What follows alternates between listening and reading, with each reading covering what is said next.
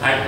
こちらニューデリー駅近くのリベックホテルからです。こちらが泊まったのはこの308号室なんですけど308号室の室内はこんな感じです。まずテーブルがあり上は一応ファンがあります。でダブルベッドですね。でこちらでまあ電気のオンオフができると、まあ、一応内線のこの辺のあれもありますね。フロントともつながる。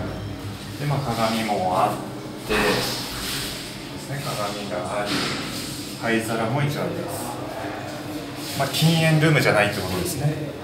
でシャワーがまあトイレがこれで でインド式でこれがまあ置いてありますね。